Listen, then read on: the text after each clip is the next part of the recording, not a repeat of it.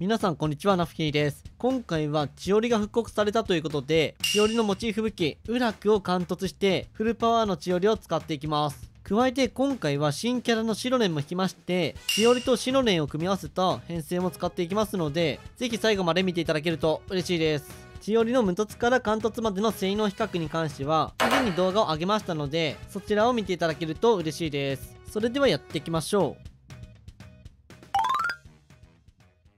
ということで、千織の武器引いてきます。とりあえず5万円分課金してきたんで、今持ってる原石分で貫突させたいよね。ということで早速ガチャを回していきます。10、20、30連目で新武器の槍が出ました。これも貫突したいよね。40、50、60連目で片手剣の新武器が出ました。70連目で金に光りまして、ウラクをゲット。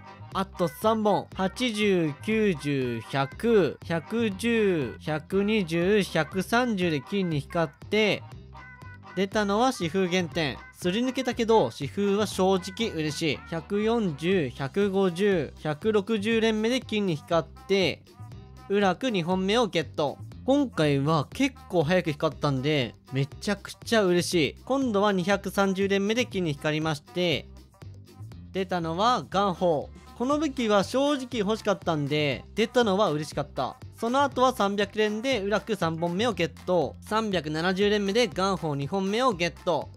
あ、原石ないなった。なただけにということで2万4000円を追加して、再びガチャを回していきます。430連目で金に光りまして、4本目のウラックをゲットしました。これでウラックを貫突することができます。次に白年を引いていきます。10、20、30、40、50、60、70。あ、また原石なくなった。ということで、12,000円入れてきました。80連目で金に光って、白年を確保。ビジュアルめっちゃくちゃいいなということで、この後戦闘に入っていくんですけど、その前に今回使っていく千織のビルドから見ていきます。まず武器なんですけど、もちろん裏クをつけてはいるんですけど、なぜかここの録画データだけ見つからなくて、仕方なく後撮りで動画を撮っています。生物は果敢4セットにしています。命の星座は貫突。添付は全て最大まで上げています。そしてステータスはこんな感じになっています。では早速ダメージを見ていくんですけど、まずは裏く無突での火力から元素スキルを打って通常で殴っていくんですけど、通常一発あたり2万5000くらい、タモトが3万近く、絹が5万くらいダメージが出ていました。そして元素爆発なんですけど、すいません。打つのを忘れました。そしたら次に、チームのバフを乗せた状態でのチオリの火力を見ていきます。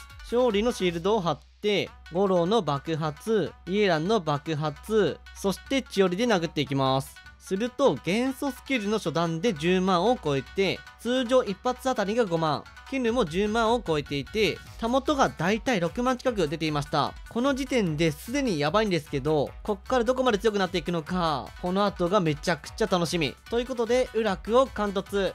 すると、通常攻撃が32%と元素スキルが48%上がって、さらに岩元素のダメージを与えるとバフの量が増えたり、防御が40%上がったりするんで、ダメージがすごいことになりそう。ということで、最強になった千織のダメージを見ていくんですけど、通常一発あたりが3万1000近く、で、絹が6万3000、タモトが3万7000くらい出ていたんで、だい体5000から1万くらいダメージが上がっていたんじゃないかなと思います。そこまで上がっていないんじゃないかなと思うかもしんないんですけど、このダメージを頻繁に出せるってことを考えると、やばすぎる。そして講義を瞬殺。強い。今度はバフを乗せてダメージを見ていきます。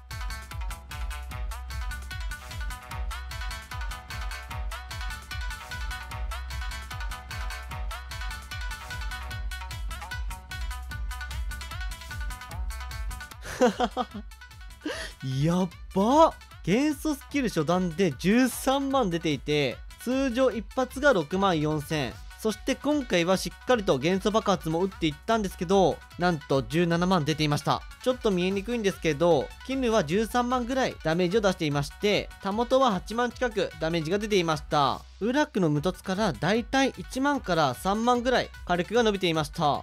めちゃくちゃ強いし、最高に楽しいですね。そうしたらせっかく白念を引いたんで白念を育成して千織と一緒に使っていきたいと思います。レベル20突破して40突破して50突破して60突破して70突破して80突破してレベルを90まで上げていきます。今度は持ち武器の眼宝を強化していきます。ということで武器のレベルも90にしていきました。そしたら生物をつけていくんですけど白念をサポートで使うなら絵巻一択だと思うんで絵巻をつけていきます。ということで全て付け終わりました。添付なんですけど白念は元素スキルが一番重要なんで最優先でこれを上げていきます。ということで元素スキルのレベルを10まで上げていったんですけど敵の元素耐性36%ダウンってやばすぎる。ついでに爆発も6まで上げていきました。では白念の育成が終わったんで早速火力を見ていきましょうか。まずは千織短期でマトリックスを倒していきます。まず短期でこの削りはすでにやばいんですよ。火力がえげつない。そしてあっという間にマトリックスを討伐。これ白念入れたら耐えられないんじゃないかな。では編成を組んで戦っていくんですけど白念の使用上岩さん編成を組むことができないのでフリーナとイエランを入れてやっていきます。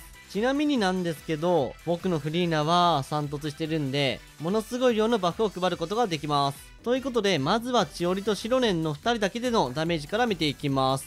イエランで水元素を付着させて白念の通常を2回当ててバフだったりデバフを発動させて千織に変えて殴っていくんですけど減りが早すぎてマトリックスを瞬殺しました。スローで見ていくんですけど通常一発が5万1000絹が10万。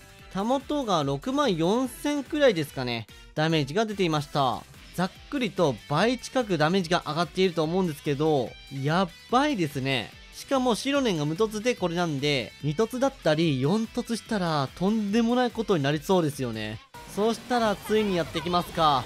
しおりに全バフをかけていきダメージを見ていきましょう。どれぐらいダメージ出るかな。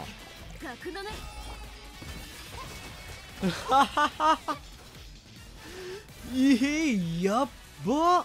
数字が重なりすぎて分かりにくいんですけどスキル初段が14万で通常が一発6万9000たもとが8万3000で絹が14万ぐらい出てましたね多分。正直強すぎて笑うしかないよねこんなの。敵を変えて今度はドレイクと戦っていきます。フリーナ爆発イエラン爆発シロレンでサンプルをアクティブ化して武器や生物の効果を発動してから爆発を打ってチオルで殴っていくと一瞬で終わりました。あのー、実くりとダメージ見れないんですけどそうしたら最後に地方伝説と戦っていきます。こいつらはかなり硬いんでしっかりとダメージを見ることができるんじゃないかなと思います。元素スキル初段が15万で通常が一発8万。たもとが約9万4000そして絹が16万で爆発はなんと25万。火力やばいって。あんだけ削るのが大変だったリニアの HP がすんごいスピードで減っていってる